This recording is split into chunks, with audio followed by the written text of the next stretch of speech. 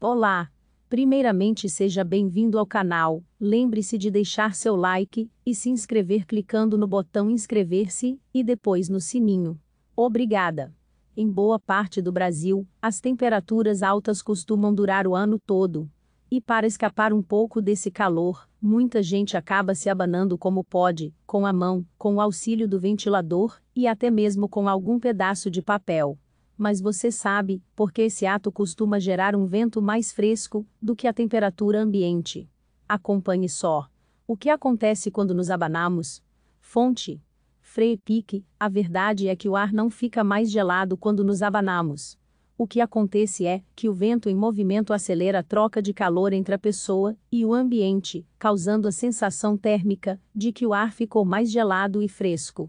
Isso significa que o vento não está mais frio, ele só parece estar, porque estamos perdendo calor mais rápido.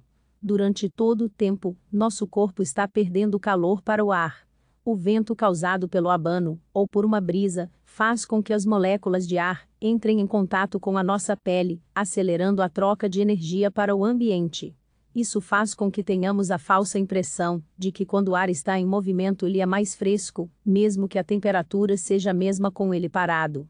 É quase como uma ilusão de óptica, só que na pele.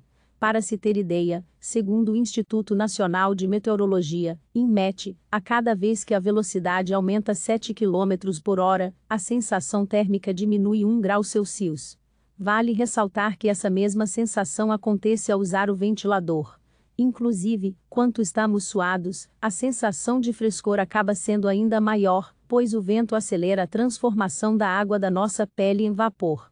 Você gostou deste vídeo? Então comente na seção de comentários abaixo. Lembre-se de se inscrever no canal, compartilhar e deixar seu like.